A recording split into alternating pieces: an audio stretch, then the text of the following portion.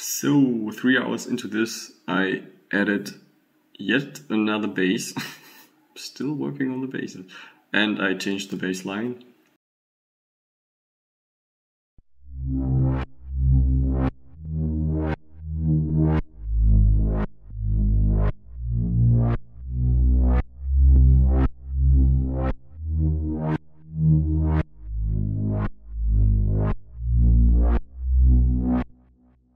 I also wrote the first couple melodies with that lead sound I sound designed last time.